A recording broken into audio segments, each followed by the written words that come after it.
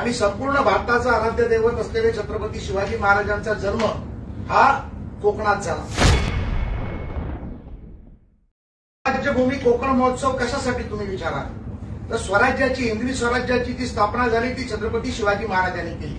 आणि संपूर्ण भारताचा आराध्य दैवत असलेले छत्रपती शिवाजी महाराजांचा जन्म हा कोकणात झाला.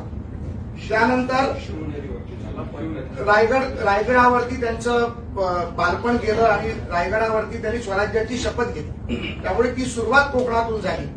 त्याच्यानंतर त्यांच्याबरोबर सातत्याने लढलेले नरवी